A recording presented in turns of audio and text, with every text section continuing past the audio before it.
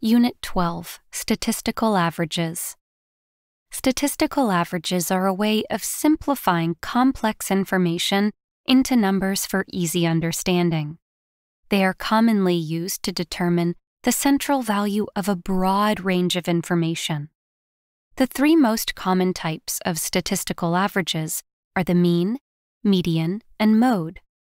The mean average is calculated by adding all the elements and dividing them by the number of elements.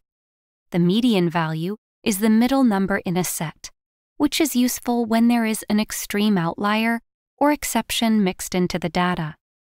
The mode is the element that occurs most often in a list.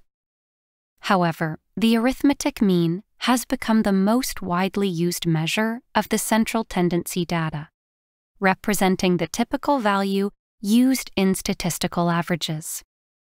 For example, when arguing for an increase in the minimum wage, statistical averages can be used to demonstrate the current income level of a population.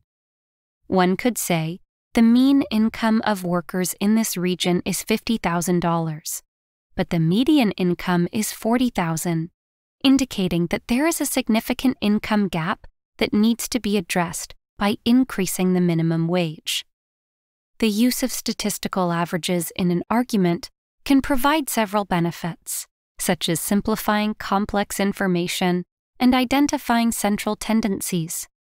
However, it is important to choose the appropriate type of average depending on the dataset and be cautious of outliers or extreme values that can skew the results.